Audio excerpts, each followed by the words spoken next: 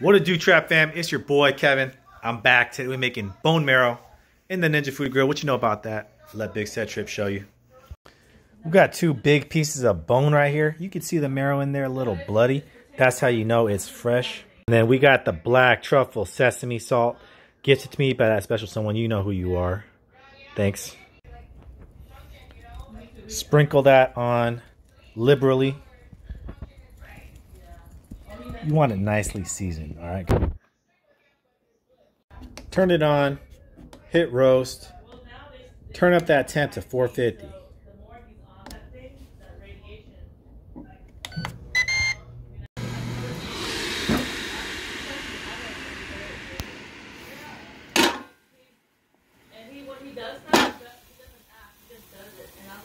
We're gonna cook it for 15 minutes.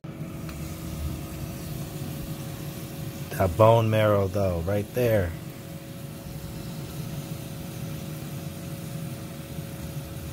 Go ahead and serve that up all nicely on a wooden cutting board. Now get you a bread, cut it open, let's toast it up. The bread perfectly toasted right here.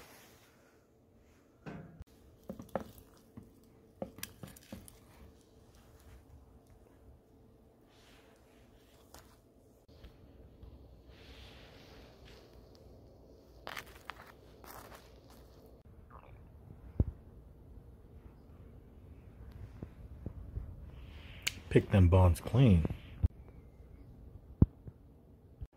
Hope you guys like that trap recipe. And as always, Trap fam, let me know what that mouth do.